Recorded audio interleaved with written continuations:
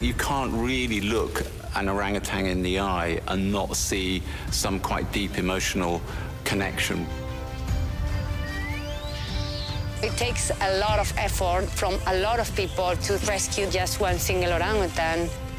But I think it's worth it. 抢救无毛猩猩全新特辑四月二十二日星期一就在动物星球频道首播。